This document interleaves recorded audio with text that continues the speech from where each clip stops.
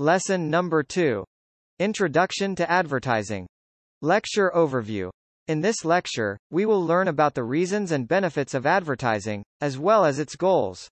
We'll also explore different aspects of advertising, including its various segments and touch briefly on its history. Why advertise? Advantages. Advertising is all around us. Even though advertisers may not personally know each consumer, they have information about them through research. Advertising can be more cost-effective per potential customer compared to personal selling. So, advertising is a more effective sales tool, even though it's not a personal interaction. Now, let's dive deeper into the definition of advertising, building on what we discussed in the previous lecture about personal and non-personal selling. Reviewing the definition. Advertising is the non-personal communication of information, usually persuasive in nature, about products, services, or ideas by identified sponsors through various media. Bovee 1992. Breaking down the definition. Communication. Communication is how one person shares information, ideas, or feelings with another using speech or pictures. In advertising, we mainly rely on two senses, sound and sight. 1. Sound. Used in radio and television ads, and even in magazines with micro sound chips. 2. Sight. This is the most important medium in advertising, especially in print.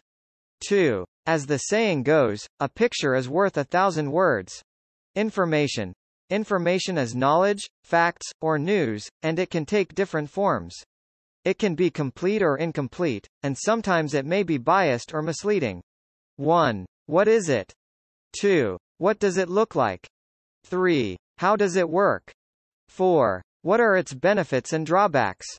Paid for.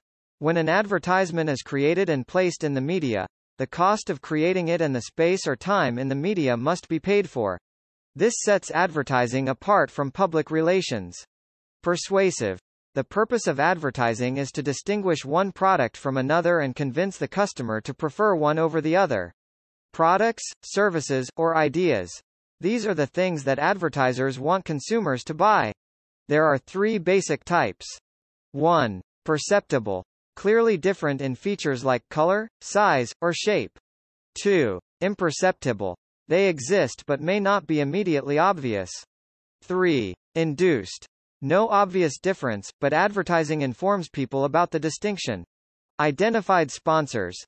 Advertising lets the audience know who is behind the message. Various media. This includes newspapers, magazines, radio, TV, billboards, hoardings, and even balloons.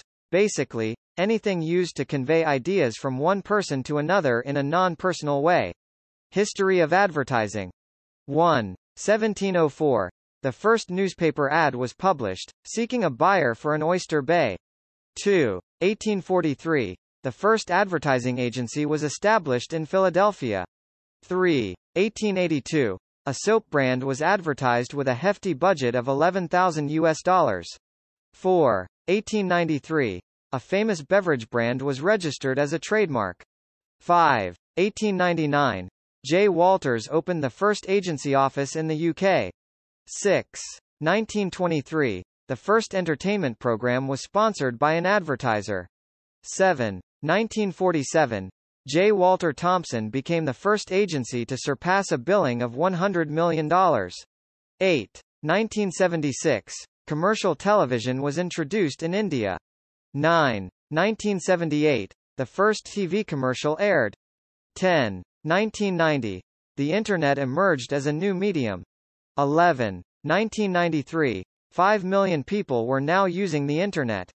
12. 1999. Internet advertising exceeded the $2 billion mark. 13. 2003.